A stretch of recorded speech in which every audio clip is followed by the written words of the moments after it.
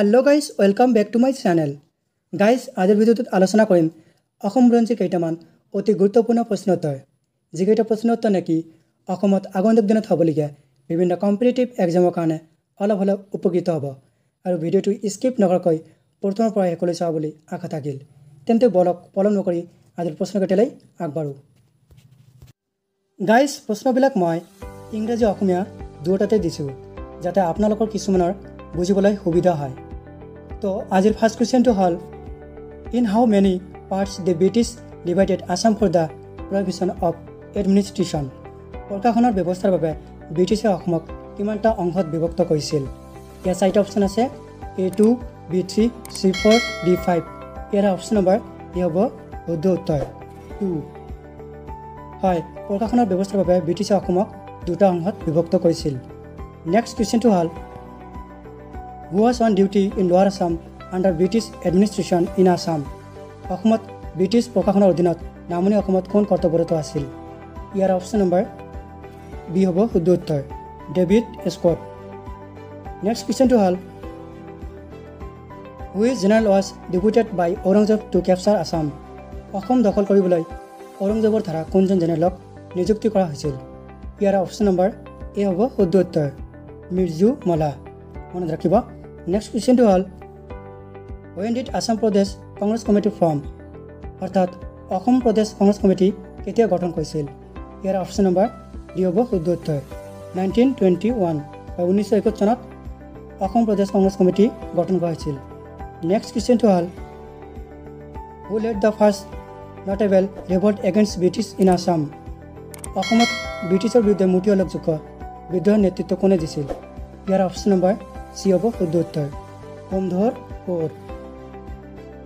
Next কুৱেশ্যনটো হ'ল which historian came along with Mir Jumla অৰ্থাৎ কোন ইতিহাসবিদ মিৰ্জুমালাৰ সৈতে আহিছিল ইয়াৰ অপশ্যন নম্বৰ এ হ'ব শুদ্ধ উত্তৰ চিয়াবুদ্দিন তালিছ নেক্সট কুৱেশ্যনটো হ'ল during which dynasty Madan Kamdev temple was build অৰ্থাৎ কোন ৰাজবংশৰ সময়ত মদন কামদেৱ মন্দিৰ নিৰ্মাণ কৰা হৈছিল ইয়াৰ অপশ্যন নম্বৰ ডি হ'ব শুদ্ধ উত্তৰ পালা ডাইনেষ্টি হয়।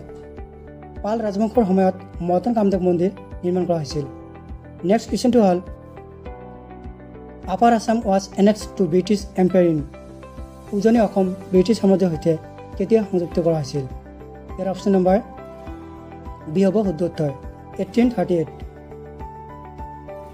নেক্সট কুৱেশ্যনটো হ'ল the first and only Sanskrit college in Assam situated at অসমৰ প্ৰথম আৰু একমাত্ৰ সংস্কৃত মহাবিদ্যালয় ক'ত অৱস্থিত? ইয়াৰ অপশ্যন নম্বৰ এ হ'ব শুদ্ধ উত্তৰ নলবাৰীত। নেক্সট কুৱেশ্যনটো হ'ল দি অসমছ অৰিজিনেলি কেম ফ্ৰম অসমসকলে মূলতঃ ক'ৰ পৰা আহিছিল? ইয়াৰ অপশ্যন নম্বৰ এ হ'ব শুদ্ধ উত্তৰ মাউলিং হয় আহোমসকলে মূলতঃ মাউলিঙৰ পৰা আহিছিল। নেক্সট কুৱেশ্যনটো হ'ল in which year sir Saadulla's ministry formed কোন বছৰত ছাৰ চাদুলাৰ মন্ত্ৰালয় গঠন হৈছিল। ইয়াৰ অপশ্যন নম্বৰ চি হ'ব শুদ্ধ নাইনটিন থাৰ্টি ছেভেন। নেক্সট কুৱেশ্যনটো হ'ল মূলা গাভৰু ডাইট ফাইটিং এগেইনষ্ট। মূলা গাভৰুৰ বিৰুদ্ধে কোনে যুঁজ দি মৃত্যু হৈছিল? ইয়াৰ অপশ্যন নম্বৰ চি হ'ব ইয়াৰ অপশ্যন নম্বৰ চি হ'ব শুদ্ধ উত্তৰ তুৰবাগ মনত ৰাখিব। নেক্সট কুৱেশ্যনটো হ'ল in which place the first battle fought by the Assams against the Mughals মোগলৰ বিৰুদ্ধে অসমসকলে যুঁজ দিয়া প্ৰথম যুদ্ধখন কোন ঠাইত হৈছিল? ইয়াৰ অপশ্যন নম্বৰ বি হ'ব শুদ্ধ উত্তৰ। ভৰালি। নেক্সট কুৱেশ্যনটো হ'ল which of the following was famous for astrology অৰ্থাৎ নিম্নলিখিত কোনখন ঠাই জ্যোতিষ শাস্ত্ৰৰ বাবে বিখ্যাত আছিল? ইয়াৰ অপশ্যন নম্বৰ এ হ'ব শুদ্ধ উত্তৰ। প্ৰাগ জ্যোতিষপুৰ। হয় জ্যোতিষ শাস্ত্ৰৰ বাবে প্ৰাগ জ্যোতিষপুৰ বিখ্যাত আছিল। পোন্ধৰ নম্বৰ কুৱেশ্যনটো হ'ল who build Joydol on the bank of Joysagar tank Joysagar টেংকৰ পাৰত জয়দল কোনে নিৰ্মাণ কৰিছিল? ইয়াৰ অপশ্যন নম্বৰ এ হ'ব শুদ্ধ উত্তৰ ৰুদ্ৰ সিংহ।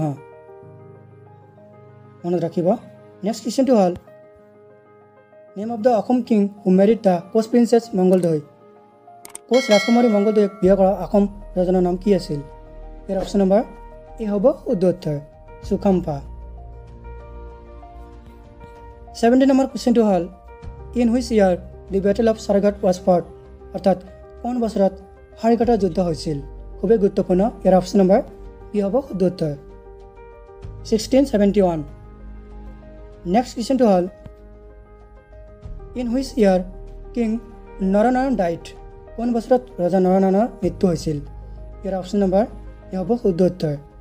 ফিফটিন এইট্টি ছেভেন হয় পোন্ধৰশ সাতাশী চনত কোচ ৰজা নৰনাৰায়ণৰ মৃত্যু হৈছিল। নাইনটিন নম্বৰ কুৱেশ্যনটো হ'ল which Assam Swargadeo built the temple of Umananda? অৰ্থাৎ কোনজন অসম স্বৰ্গদেৱে উমানন্দ মন্দিৰ নিৰ্মাণ কৰিছিল? ইয়াৰ অপশ্যন নম্বৰ চি হ'ব শুদ্ধ উত্তৰ। গদাধৰ সিংহ। হয় অসম স্বৰ্গদেউ গদাধৰ সিংহই উমানন্দ মন্দিৰ নিৰ্মাণ কৰিছিল। একেবাৰে শেষৰ প্ৰশ্নটো হ'ল which Assam king known as known was popularly known as Bamuni Konwar অৰ্থাৎ কোনজন আহোম ৰজাক বামুণী কোৰ বুলি জনা গৈছিল? ইয়াৰ অপশ্যন নম্বৰ এ হ'ব শুদ্ধ উত্তৰ। চুদাংফা হয় আহোম ৰজা চুদাংফাক বামুণী কোৰ বুলি জনা গৈছিল। তো বন্ধু বান্ধৱীসকল ভিডিঅ'টো চাই কেনে লাগিল? নিশ্চয় কমেণ্টত জনাব। আৰু আমাৰ এই চেনেলটো নতুনকৈ ভিজিট কৰিছে তেন্তে চেনেলটো ছাবস্ক্ৰাইব কৰি ল'ব। আৰু এই ভিডিঅ'টো যিমান পাৰে বন্ধুবৰ্গলৈ শ্বেয়াৰ কৰি দিয়ক। ভিডিঅ'টো চোৱাৰ বাবে বহুত বহুত ধন্যবাদ।